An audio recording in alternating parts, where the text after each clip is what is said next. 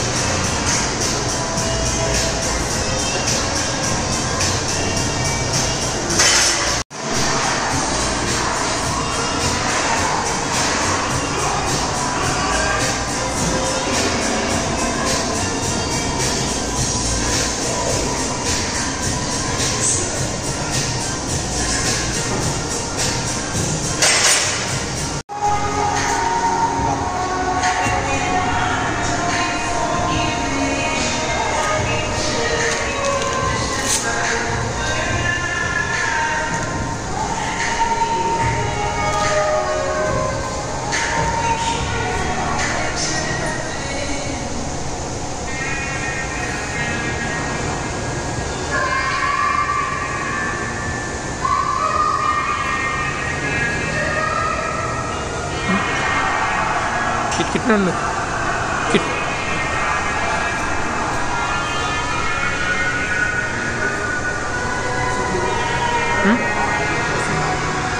മനസ്സിലായി